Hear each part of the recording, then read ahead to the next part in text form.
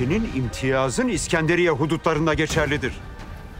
Burası da hududun dışındadır.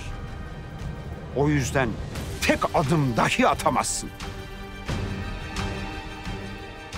Altınları kaçırırlar. Vaktimiz dardır. Bir an evvel Doğu koyuna inmemiz gerek. Biz altınları istediğimiz yerde ararız. Sana lüzum yok. Şimdi dön git. Eğer hududu geçersen imtiyazını çiğnemiş olursun. O zaman da bize saldırma hakkı doğar. Osmanlı dahi arkanda duramaz. Sırf altınları bulma ihtirasından yaparsın bütün bunları. Yoksa senin mazlumların davasını kolladığın yoktur. Tek düşündüğün kendi makamın. Makamını da, hudutlarınızı da çiğner geçerim. Geç hadi. Çiğne de geç. İmtiyazını çiğne de o vakit Osmanlı'nın gölgesi kalkar, bizim kılıçlarımızın gölgesi iner.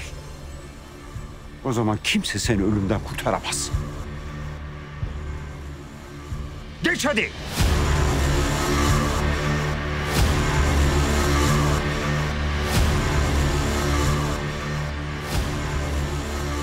Doğu koyundan bir gemi açıldı.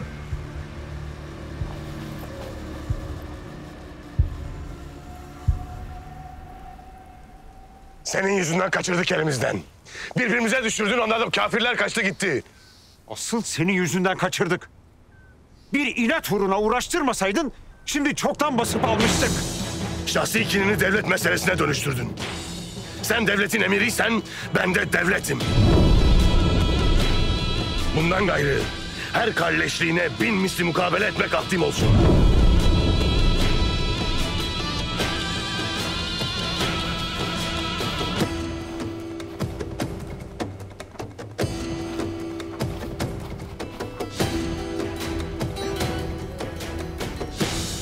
Altınları kaçırdık elimizden baba Oruç. Bunca uğraş verdik yolunda. Kafirlerin eline mi bırakacağız? Bırakmayacağız. Elimizdeki tek yol altınlarla alacakları silahlardır.